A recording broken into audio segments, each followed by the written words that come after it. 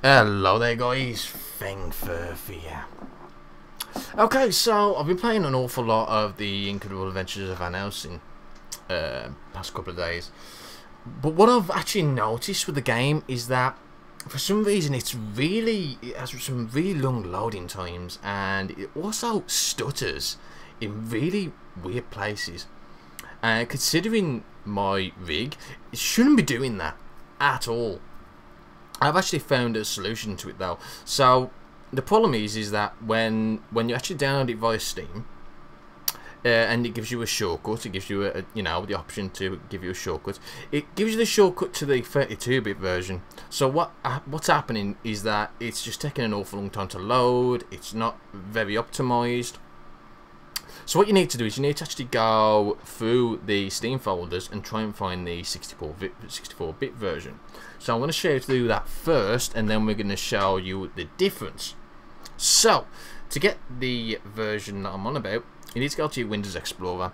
Now, depending on what operating system you use, it will probably be different, although um, you could just go to your search bar and just type in Steam. Should be pretty easy.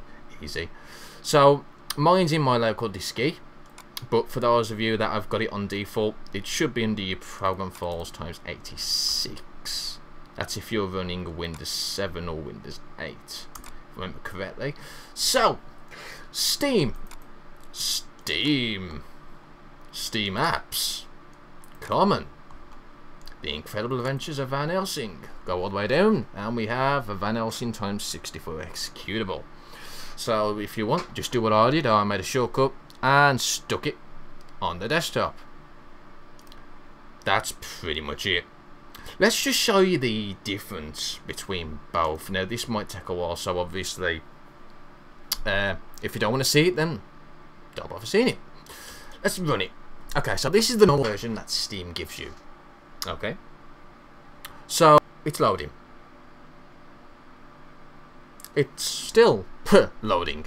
I'm just going to wiggle my mouse so you can tell that I'm not actually pausing this way or making it look blur.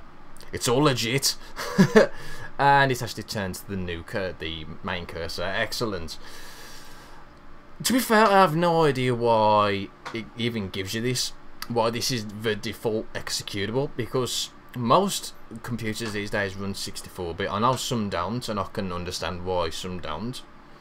But most computers these days do run 64-bit, so it's really weird why it does that. Really is. I've noticed the stuttering a lot when you're actually against a group of enemies, but sometimes it'll just stutter for the fucking fun of it, and it shouldn't be doing that. It shouldn't be doing that at all. It's still loading. this is only the first loading screen, by the way. Don't forget there's an intro as well. So just bear that in mind. This is going to take a while. And it's still loading. okay, excellent. Let's talk about Van Helsing's hat. While we're waiting, K. I spy my little eye something beginning with G. Can you guess what it is? Damn. Let's try let's try something a bit harder. Okay. Oh, I spy my little eye something beginning with L. Haha. No, you're wrong. No, you're wrong again. G, give up. Okay, it's line. See, there's a few lines there. Ah, there we go. We're we're in. Brilliant. Second loading screen. Joy. okay. Oh, there we go. We're actually in. Brilliant. Brilliant. Right. So, the next thing you'll notice is the actual in-game loading screen time. Oh boy. Let's resume with Frankfurt Pew. Can you guess what that is? Okay, so normally the loading screen gives you a loading bar in the form of blood spatters. As you can see, it's loading.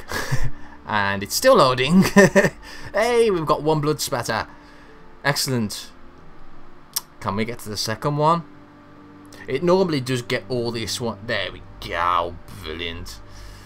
That is unnecessarily long, by the way. And whoa, look at the stutter on this! Fuck me! Look at this! It's like fucking one frame a second. It's horrible. It's absolutely horrible. There's no reason why this should be happening. Look at this. It's bollocks.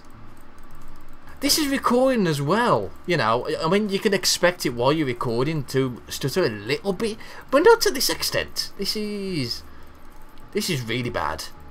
This is very, very bad. Okay, let's exit. Let's show you the 64-bit version. Which increases fucking basically everything.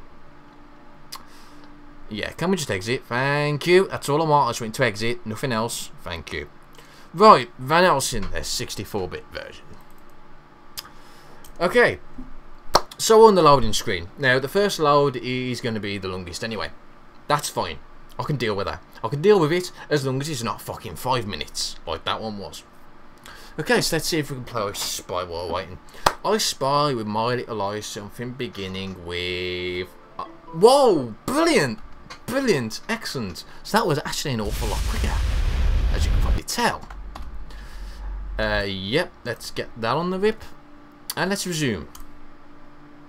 Look at the loading screen. One blood spatter. What? That was fucking fast, man. And look, there's only a slight bit of stutter even. No, there's not. There's no stutter at all now. Let's get into a fight. Oh my god, it's actually playable. Wow. That so amazes me. so epic that I can actually play it. Yay! More importantly, I can play it and record it. Wow. Epic. No, you're not going to hit me, you bastard. So there you have it then, guys. This, hopefully, will fix a lot of the issues that you have with this bloody game. Especially if you're using 64-bit. Hell, if you're using 32-bit, then I wouldn't recommend you run the 64-bit version. It'll probably fuck up your computer. So yeah, there you go, guys. Um, do I have anything else to say? Not really. So there you have it then. Okay, I'll see you later.